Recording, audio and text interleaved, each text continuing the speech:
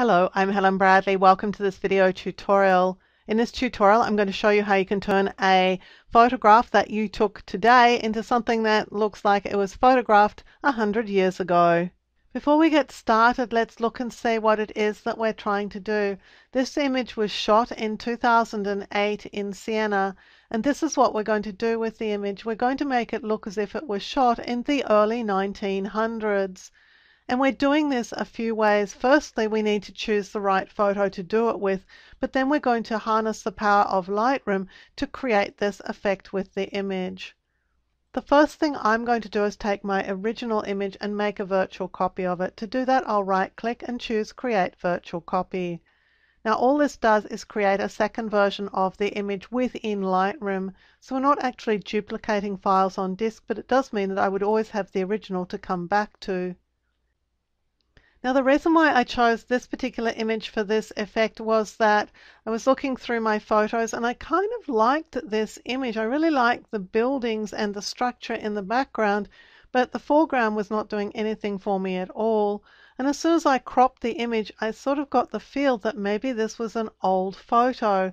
And so that's why I looked for this sort of vintage effect to create using this photo. In the background here, there's very little that says 21st century and what little there is will be easy to remove. Of course, we don't want any of these people in the foreground because they really are way too modern for the look that we're going for. So for this kind of effect, I want an image that has some interesting things in it, and the building detail is quite interesting. The fact that the sky's blown out really doesn't worry me for this effect. So I'm going to start by cropping the image, and I'm going to choose a one-to-one -one crop because I think it would look quite nice cropped to that ratio. So I'm going to get rid of all my people in the foreground, well essentially all of my people in the foreground, and I'm also going to rotate the image a little bit. Rotating the image will allow me to get rid of a bit more of the sky and will also allow me to focus in on the buildings that are of most interest to me. So I'm just going to move it across here a little bit and I've lost my crop so let's just go in here and let's pull this crop in even a little bit tighter still. Now what I need to get rid of is some detail in here, but it should be relatively easy to get rid of that. So let's just click the done button. I'm going to go in here and zoom in and see what it is that I have to remove. And I think I'm going to be pretty good if I just remove these two things here, the person and the truck. I'm using the spot removal tool and that will be a good tool to remove the person. So I'm just going to grab the fix that Lightroom has given me and just find a better fix for it. Now I'm also having a look up in the top of the spot healing brush tool to see what setting I've got here, clone or heal. And I can try each of these to see which one of them is going to give me the better result. And I actually think that clone might work better. No, that was certainly a wrong choice. So let's go back, reselect the tool, reselect this pin, and let's go back to heal. Much better choice. Okay, I want the same tool over again, and I'm going to just brush over this little car here. Now in the process, I'm going to have to lose this pole, but I'm going to paint all the way over the pole because I think it might be easier to find a total replacement pole for that spot. Now, Lightroom's tried, but I don't think it's found the best fix for this image. So I just want to move it so I can see everything here. And I think I'm going to go and try and borrow this pole instead of the previous one. Let's just see how that looks. Now this is not going to be a perfect match, but by the time we've damaged the rest of the image with this sort of vintage effect, I think that we won't notice what we've done here in the bottom corner. So I'm just going to go back here. I think I still have a little bit of fixing to do. So again, I'm getting my spot healing brush and I'm just going to paint over a little bit of the cement here. And let's just go and find a little bit of sidewalk to replace this with. Thinking that bit there. And let's click done. And I could continue and try and find some other little bits in the image to replace these areas with.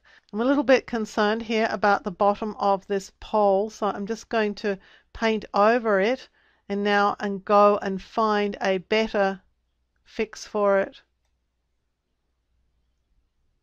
And again, click done.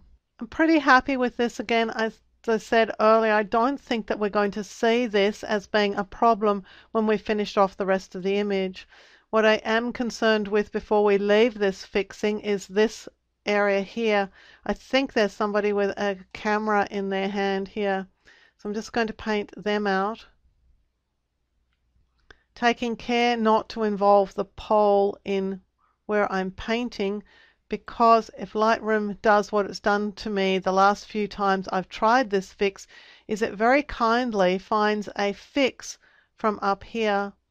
And while it's got practically nothing to do with the area that we're trying to fix it actually does really quite a good job.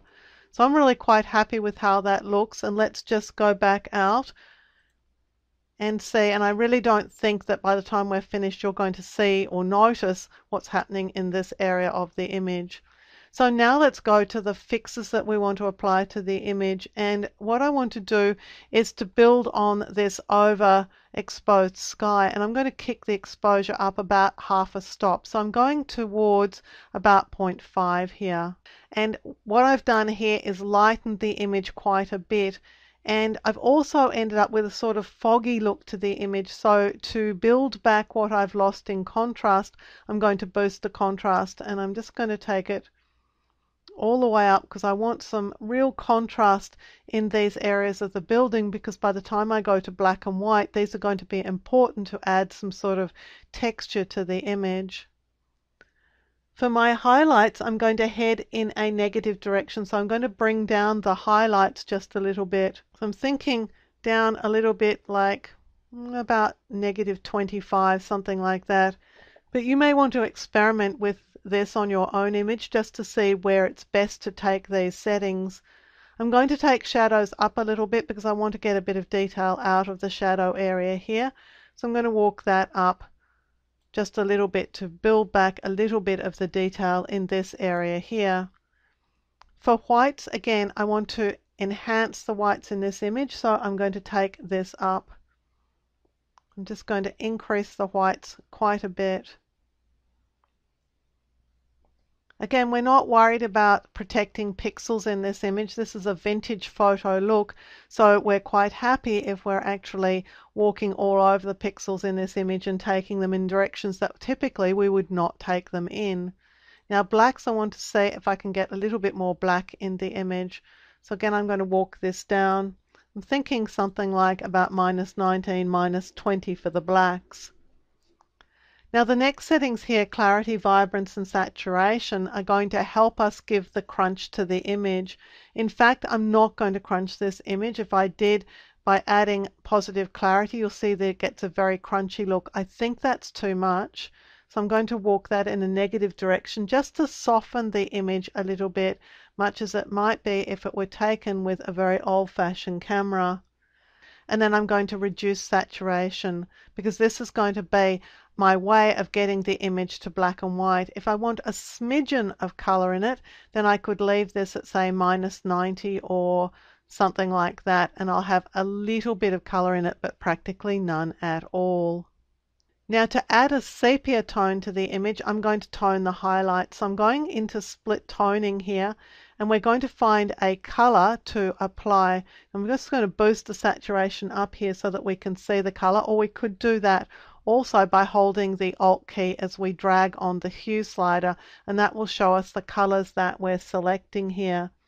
So I'm going to find a color to use and I want it to be a slightly rich color. I think I want a little bit of sort of pink in here. So I'm thinking something like that that's got the slightest amount of yellowy pink in it will be good. And now I'm going to increase the saturation because that will apply the color to the image. And then we're going to adjust the balance. Now balance allows us to define where highlights are in the image and I'm going to bring the balance right up so that most of the image has this color applied to it. And now I'm just going to finally tweak the color a little bit. Now to add to the vintage effect that we're going for here, I'm going to add some grain to the image and we do that in the effects panel. So I'm going to come down to grain and I'm going to crank up the amount of grain in the image and you can see that that immediately has a sort of aging effect on the photo. I can adjust the grain size and the roughness of the grain. I also think the image will be helped with a sort of vignette, but whereas normally I might apply a darkening vignette, think I'm going to apply a lightening one here. So I'm just going to grab the amount slider and this time I'm going in a positive direction and that just lightens the very edges of the image, almost as if light has leaked in at the sides of the image. Now to finish off, if you were concerned that there were any detail in the foreground here that you really didn't want to have as sharp as it is, perhaps to reinforce the look of it being an old photo, you can use the graduated filter. I'm just going to drag in here at a slight angle now. It looks as if my graduated filter has an exposure adjustment setting on it. Just going to get it in position and just adjust it.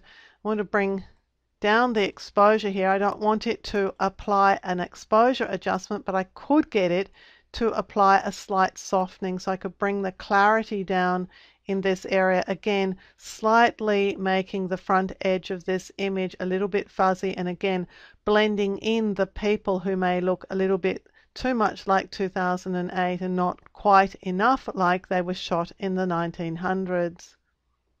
So from here, there are other things that you could do. You might want to sharpen the edges or darken the contrast in the buildings here. So you could run over them with an adjustment brush.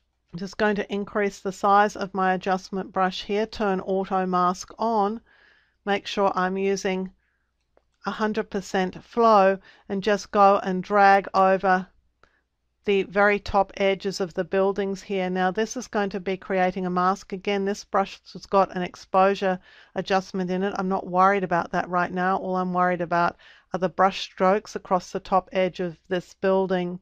Let's go and show the mask overlay and you can see where the mask is. And so we can just work a little bit at perfecting that mask. And then having done that, let's turn the mask overlay off and let's just boost the eh, contrast in that area. I'm bringing the exposure back so that this adjustment is not affecting exposure, but we could boost the contrast just a little bit. So let's have a look at the image that we started off with. This is the image as it was out of the camera, very much a poor shot taken in 2008. And here's the effect that we've been able to create, an image that looks as if it was shot in the 1900s. And it's all done using the tools that we have built in to Lightroom. I'm Helen Bradley. Thank you for joining me for this video tutorial. Look out for more video tutorials here on my YouTube channel and consider subscribing to my channel and you'll be alerted when new videos are released. And visit my website at projectwoman.com where you'll find more tips, tricks and tutorials on a range of applications including Photoshop, Lightroom, Illustrator and a whole lot more.